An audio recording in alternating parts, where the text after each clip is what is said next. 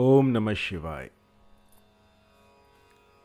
यंत्रों के कई प्रकार होते हैं, जिसमें से एक प्रकार है आतिश यंत्र आतिश यंत्र उन यंत्रों को कहा जाता है जिन्हें जलाकर प्रयोग में लाया जाता है। कोई भी नक्श बनाइए और उसको जला दीजिए और अपनी मुराद पूरी कीजिए। इस तरह के यंत्रों को आतिश यंत्र कहा जाता है। तो आज का मेरा जो यंत्र है वो आपको आतिश यंत्र पर ही मिलेगा। और ये इतने प्रभावी होते हैं कि यहाँ आग जलाइए और वहाँ आपका साथी जो है वो तड़फने लगेगा। बहुत ही आसान और बहुत ही सरल तरीका है इनको करने का। इसे कोई भी कर सकता है और इनमें ना के बराबर नुकसान होता है। किसी भी तरह का कोई साइड इफ़ेक्ट नहीं होता, ना आप पर, ना आपके साथी पर। बस आपको करना इतना है कि अनार की कलम, सरसों का तेल और भोजपत्र या फिर कोई भी किसी भी पेड़ की छाल जिस पर कि आप इसे बना सकते हैं। अगर भोजपत्र ना मिले तो आप किसी साधारण पेपर पर भी बना सकते हैं। क्योंकि कई बार मेरे पास प्रश्न आते हैं कि भोजपत्र क्या होता है? भोजपत्र होता है जैसे पुराने ज़माने में जो है कागज़ नहीं होते थे तो उसकी जगह पर पेड़ से बना हुआ उसके एक छा, एक भोजपत्र का पेड़ होता था, उसकी छाल को यूज़ करते थे। तो उसे भोजपत्र कहते हैं। अगर आपके पास वो ना हो तो एक कोरा कागज़ आप ले सकते हैं। इस यंत्र को बनाइए और सरसों के तेल में इसको जलाना है। थोड़ा सा सरसों का तेल इस पर डालिए और इसको जला दीजिए। ऐसा आपको सात दिन तक करना है। अपने प्रेमी के घर की तरफ़ मुख करके अगर ना पता हो तो सूरज जहाँ से निकलता है, उस तरफ़ मुँह करके आपको ये यंत्र जला देने हैं। ये आपको सात दिन तक करना है। रोज़ एक यंत्र जलाना है और रोज़ ये यंत्र बनाना है अनार की कलम से और रोली या फिर किसी भी लाल रंग से। और इस पर थोड़ा सा सरसों का तेल डालकर आपको जला देना है। इसके बाद जो है, एक हफ़्ते के भीतर भीतर आपका जो भी साथी है, जो भी आपका प्रेमी है, वो आपके प्यार में मारा मारा डोलेगा।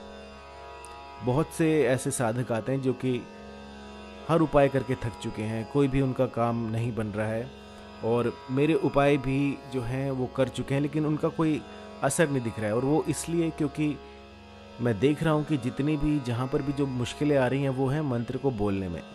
तो अब मैं यंत्र ज़्यादा बताऊँगा, क्योंकि मंत्र थोड़े मुश्किल होते हैं और बहुत कम लोग ही इसको साध पाएँगे। अगर मैं मंत्र बताता हूँ क्योंकि वो बहुत लंबे हो जाते हैं, और उसको करना थोड़ा मुश्किल हो जाता है। तो इसलिए यंत्र बनाएँगे, बहुत सिंपल है।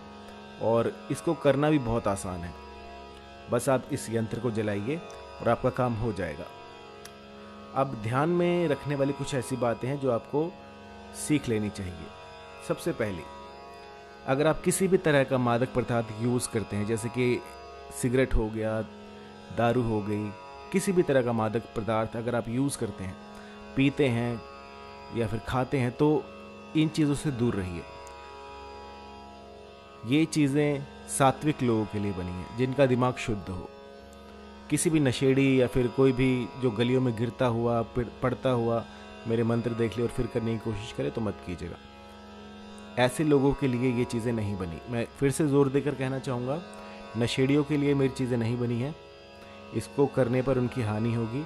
किसी भी तरह का मादक पदार्थ लेने वाला इस चीज़ को प्रयोग में ना लाए।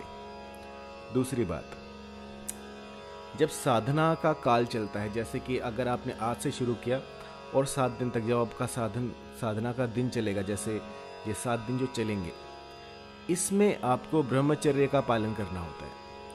सात्विक भोजन लेना होता है और अपने विचारों को शुद्ध रखना होता है। और जितना ज़्यादा समय हो सके वो ध्यान में लगाइए।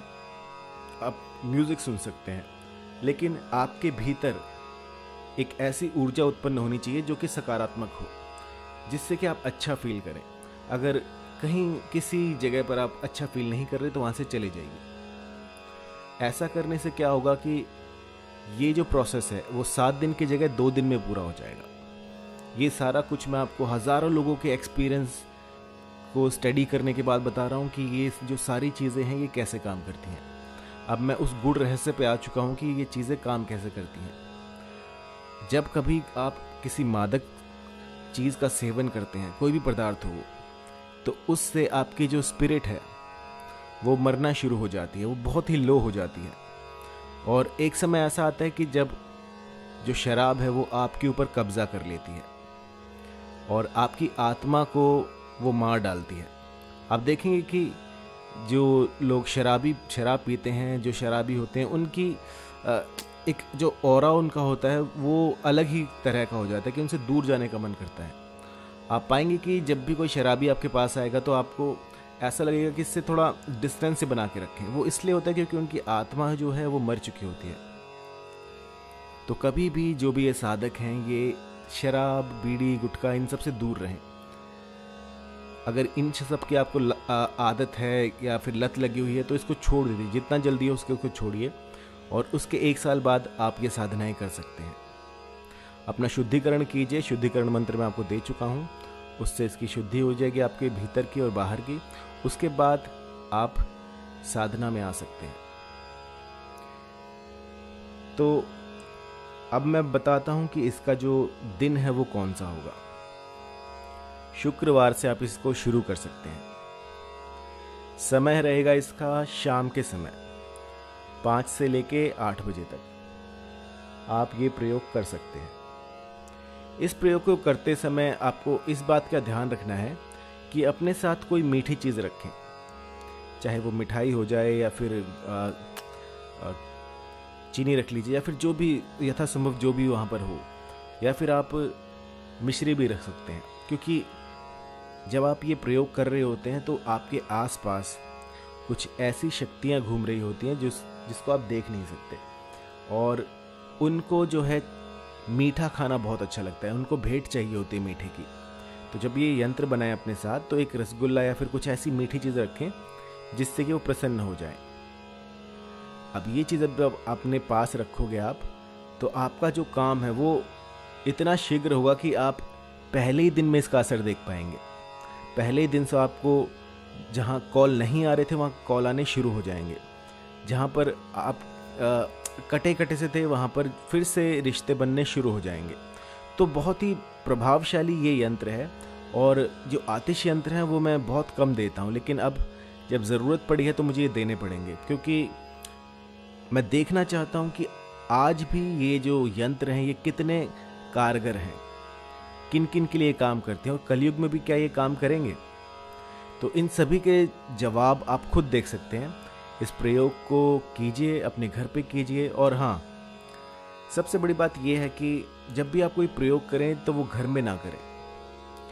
जहाँ पर जंगल में अगर आपको 90 परसेंट अगर रिज़ल्ट मिलेगा तो वहीं घर के अंदर आपको 10 परसेंट मिलेगा। क्योंकि घर के अंदर एक सेफ्टी हो जाती है कि आपको डर नहीं रहता और वो चीज़ें निकल कर बाहर आ नहीं पाती। जब आप किसी वन में जाते हैं या फिर किसी ऐसे एकांत स्थान में जाते हैं तो वहाँ की चीज़ें ही अलग हो जाती हैं। एकांत में कुछ ऐसी शक्तियाँ रहती हैं जो कि इन्हीं कामों के लिए बनी हैं। अब जिस तरह की आप आ, अपने घर में देखते हैं कि नेटवर्क बहुत अच्छा आ रहा होता है सारे मोबाइल के टावर पकड़ रहे होते हैं लेकिन जब आप किसी जंगल में सुनसान में जाते हैं तो वहाँ पर थोड़े कम हो जाते हैं। इसी का उल्टा है। जब आप घर से बाहर किसी जंगल में जाते हैं, किसी सुनसान, किसी वीराने में जाते हैं तो वो शक्ति, उन शक्तियों की पहुँच आप तक अधिक बन पाती है। वो अधिक आपके समीप आ पाती हैं और उनको रोकने के लिए कोई बंधन नहीं होता। चार दीवारी में वो चीज़ें बहुत कम आ पाती हैं। इसलिए जब भी कोई अनुष्ठान करें, वो बाहर करें, छत के नीचे ना करें। इससे आपको अत्यंत प्रभावशाली एक ऐसी शक्ति मिलेगी जो कि उन चीज़ों को कर डालेगी। आपको कहने की ज़रूरत नहीं पड़ेगी कि गुरु जी हो नहीं रहा, ये है, वो है। आप कहोगे गुरु जी ये क्या कर दिया? ये दो दिन में कैसे हो गया? तो बहुत से ऐसे रिज़ल्ट आए हैं जो कि चुटकी बजाने से पहले हो जाते हैं। तो उसके लिए सारा कुछ ध्यान में रखकर आपको करना होता है। जब साधन, जब साधना का काल चल रहा हो, उस समय अपने विचारों पर ध्यान रखें। जो ज़्यादातर लोग गलती यहाँ पर करते हैं कि समय देखते हैं। इतना समय हो गया, अब तक रिज़ल्ट नहीं मिला, क्या करूँ क्या करूँ, क्या ना करूँ? तो ये चीज़ें दिमाग में नहीं आनी चाहिए। आपको अपने दिमाग को उस जगह पर ले जाना है जहाँ पर कि वो शांत रहे। और रिज़ल्ट की जगह पर आपको वो सोचना चाहिए जो कि आप भविष्य में करने वाले हैं। उसको अस्तित्व में लाएँ कि अभी मेरे साथ यही हो रहा है।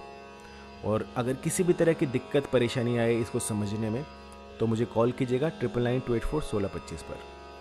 धन्यवाद।